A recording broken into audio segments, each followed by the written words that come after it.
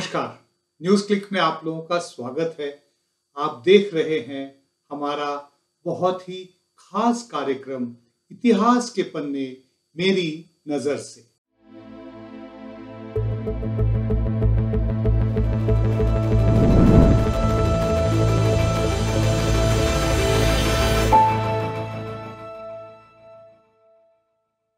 जो भी नतीजे आए, बिहार की राजनीति बदलाव की दहलीज पर खड़ी है। लेकिन ये बदलाव या परिवर्तन वैसा नहीं है जैसा राजनीतिक नेता हर चुनाव में वादा करते हैं। जनता की ज़िंदगी शायद उसी तरह से चलती रहेगी जैसे कि अब चल रही है या फिर पहले से चलती आ रही है। खैर, सरकार जिसकी भी बने बिहार का राजनीतिक कैरेक्टर क्लियरली बाइपोलर होता दिखाई दे रहा है। इनकम्बेंट बीजेपी जेडीयू कोalition गठबंधन में भी इक्वेशंस बदलते हुए नज़र आ रहे हैं। बीजेपी के नेताओं ने जनता को प्रॉमिस किया है, यदि गठबंधन सत्ता में आया तो नीतीश कुमार मुख्यमंत्री होंगे। अगर ऐसा है सीएम बनने के बावजूद नीतीश कुमार शायद सेकंड फिडल प्ले करेंगे। अलायंस के अंदर जो उनकी पहले मॉरल अथॉरिटी या फिर स्टैंडिंग थी, वो अब बरकरार नहीं है। और अगर बिहार में चौका देने वाला कोई नतीजा आता है तो नीतीश कुमार मुख्यमंत्री नहीं बनेंगे और उनकी राजनीतिक करियर का लगभग फुल स्टॉप लग जाएगा। उस स्थिति में जेडीयू के बिखरने के भी चांसेस हैं। बीजेपी लेकिन बनी रहेगी अपनी जगह एक सशक्त ऑपोजिशन पार्टी के तौर पे। चाहे एनडीए चुनाव जीते या हारे अलायंस के अंदर the process of balance tilting towards the BJP has firmly begun Bihar में जो हो रहा है, वह कोई नया नहीं है। परंतु हमें इस पूरी प्रक्रिया को समझना होगा। पहले भी बीजेपी अलायंस में जूनियर पार्टनर बनकर शुरुआत की है और बाद में दूसरे को मार्जिनलाइज करके प्राइमरी रोल अदा कर ली है। इस प्रोसेस के इतिहास और बीजेपी के स्ट्रैटेजी को हमें समझना होगा। नीतीश कुमार का पॉलिटिकल ग्राउंडिंग हिंदुस्तान के सोशलिस्ट आंदोलन में रहा है। इमरजेंसी के दौरान सक्रिय हुए उनके basic commitment secular democratic politics में थे। फिर उनका बीजेपी के साथ अलायंस या फिर कोalition को हम कैसे समझ सकते हैं या कैसे जस्टिफाई कर सकते हैं? The answer to this question shall be a long one and will have to draw on history. Only then will we be able to understand why leaders like Nitish Kumar are neither new nor isolated cases. Exactly 30 साल पहले अक्टूबर 1990 में भारतीय राजनीति was in the throes of events that altered its character as a nation. जुलाई, अगस्त 1990 से प्रधानमंत्री Vishwanath Pratap Singh entered the phase of the politics of brinkmanship अपने party Janata Dal में dissident forces को अपस्टेज करने के लिए उन्होंने मंडल कमीशन के रिकमेंडेशंस को इम्प्लीमेंट करने का ऐलान किया और ओबीसी रिजर्वेशंस शुरू कर दिए। बीजेपी उस समय नेशनल फ्रंट सरकार को बाहर से या फिर आउटसाइड सपोर्ट दे रहा था। Simultaneously the government was also backed by the left front इस ऑड परिस्थिति में that the government was supported both from the right and the left flanks Vishwanath Pratap Singh का जो फैसला था, वो बहुत ही प्रोवोकेटिव या फिर उत्तेजक था। एंटी रिजर्वेशनिस्ट मूलतः अपर कास्ट के थे। कई जगह तो ऐसा लग रहा था कि इंटर कास्ट क्लैशेस हो सकती हैं। BJP was on the horns of a dilemma एक तरफ़ उनका अपर कास्ट वोट बैंक उस वो खतरे पे पड़ रहा था।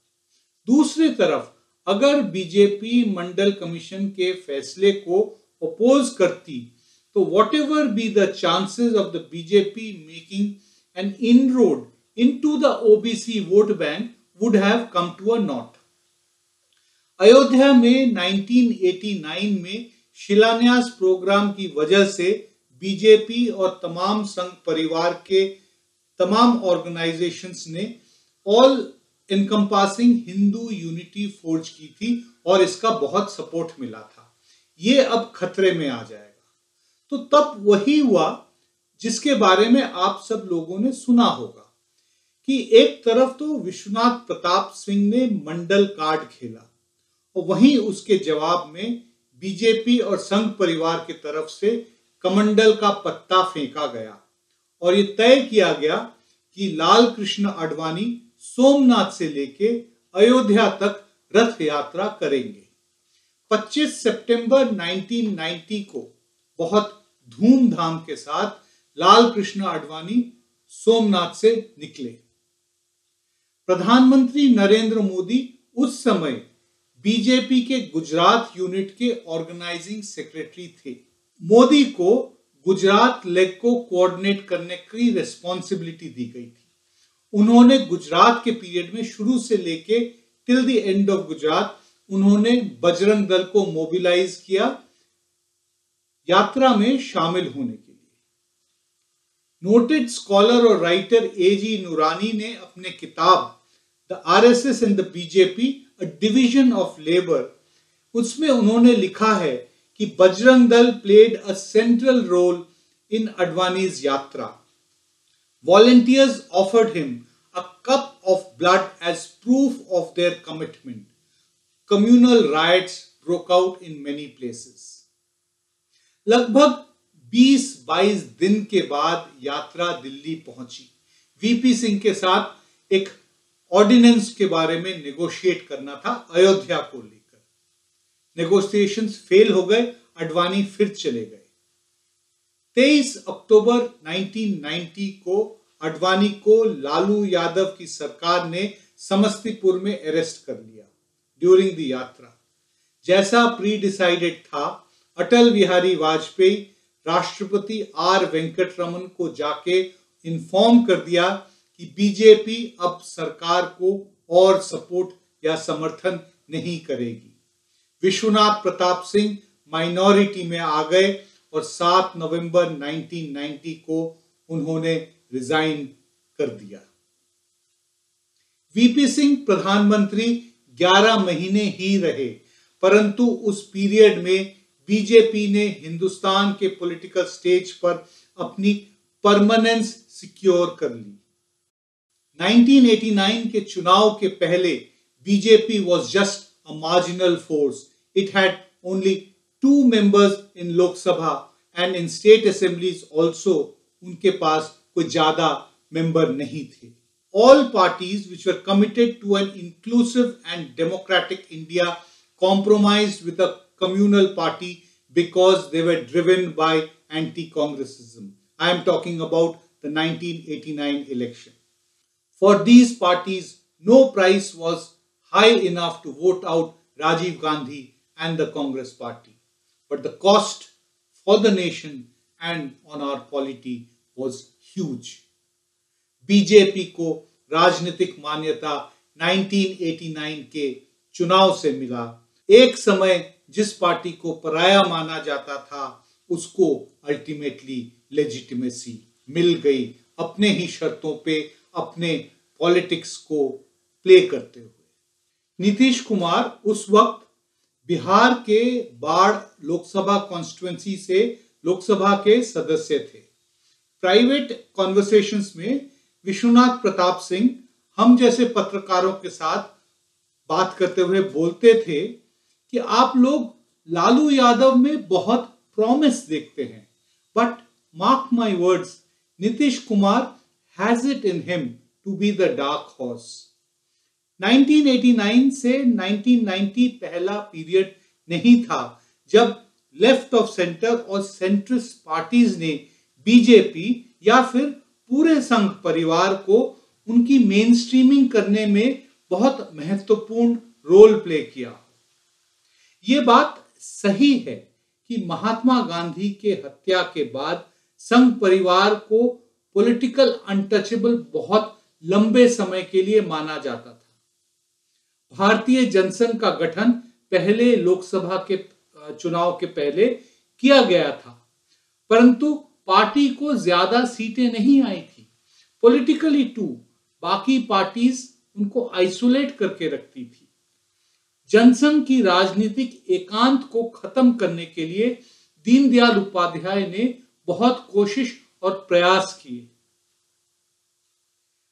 उनको सफलता अप्रैल 1964 में मिली, जब राम मनोहर लोहिया को उन्होंने कन्विंस कर दिया कि उन दोनों को एक जॉइंट पॉलिटिकल स्टेटमेंट जारी करना चाहिए। स्टेटमेंट जारी हुआ, मुद्दे कई थे। From the joint opposition to the Congress party stand on nuclear disarmament Two demands for formation of an Indo Pak confederation साझा बयान में दो विवादास्पद बिंदु थे first guaranteeing the protection and life and properties of Hindus in Pakistan is the responsibility of the government of India. Second, the assertion that the existence of India and Pakistan as two separate entities is an artificial situation ये तो अखंड भारत के concept को ही दोहरा रहा था। तो कैसे लोहिया ने उसको एक्सेप्ट किया? दूसरी बात, उन्होंने जो इंडियन गवर्नमेंट की responsibility for Hindus in Pakistan जो बोला, ये तो श्यामा प्रसाद मुखर्जी का ओल्ड पोजीशन था। इसी कारण वो नेहरू कैबिनेट से अलग हुए थे 1950 में।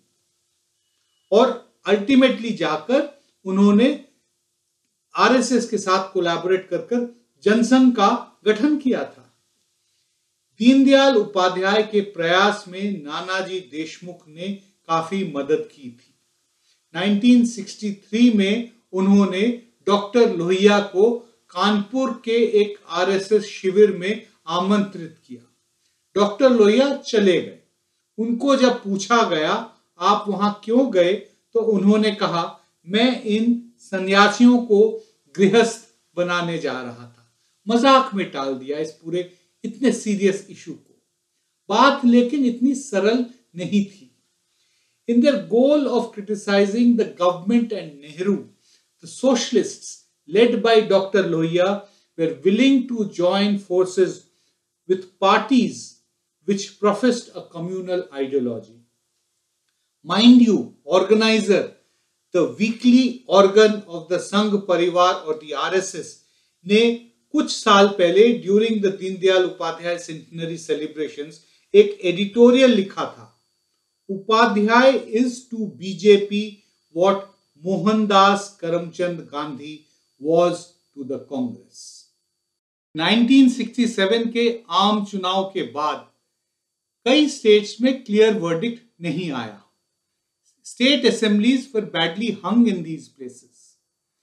इन स्टेट्स में जनसंघ के साथ बाकी पॉलिटिकल पार्टीज़ ने संयुक्त विधायक दल के कोलिशन सरकारों का गठन किया जनसंघ की further mainstreaming and the political legitimising of its fountainhead the RSS happened during the Janata party years between 1977 and 1980 1977 के चुनाव के बाद कांग्रेस, ओ, Bharatiya Lok Dal, Praja socialist party, Samyukta socialist party, Congress for democracy और जनसंघ, इन सबने अपनी पुरानी identity को छोड़ जनता पार्टी में मर्ज हो गए। सरकार लेकिन ज़्यादा दिन नहीं चली। कोलैप्स का मुख्य कारण डुअल मेंबरशिप का issues The demand of a section of the Janta Party was that former Jansang members must snap ties with the RSS.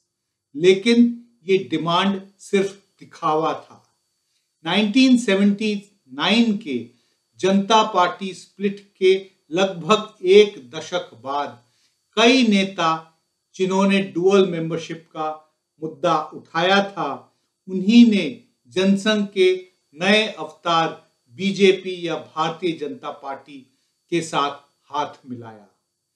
Lok Sabha चुनाव में किस तरह से जनता दल ने बीजेपी के साथ अलायंस बनाया, उसके बारे में तो मैंने कहा ही आपको पहले। लेकिन गुजरात में चिमन भाई पटेल ने बीजेपी के साथ कोalition गवर्नमेंट बनाई। लेकिन बीजेपी ने धीरे धीरे उनको कमज़ोर कर दिया and eventually it became the dominant party in the state आप सब जानते हैं किस तरह से बीजेपी का हेजेमनी आज भी गुजरात में बरकरार है। वही इतिहास शायद आज बिहार में दोहराया जा रहा है। नीतीश कुमार को सुशासन बाबू के तौर पर शायद ही कम लोग याद रखेंगे। Instead he may well be recalled as the man who facilitated the emergence of the BJP as one of the two principal parties in a bipolar polity and in a bipolar state. हमारा आज का कार्यक्रम देखने के लिए धन्यवाद जैसा मैं पहले भी रिक्वेस्ट करता हूँ कि आप हमारा कार्यक्रम और न्यूज़ क्लिक के तमाम कार्यक्रमों को सोशल मीडिया में जितना हो सकता है शेयर करें लाइक करें ताकि इस तरह का एक ऑल्टरनेटिव व्यू पॉइंट भी आपके सामने आता रह सकता है। नमस्कार।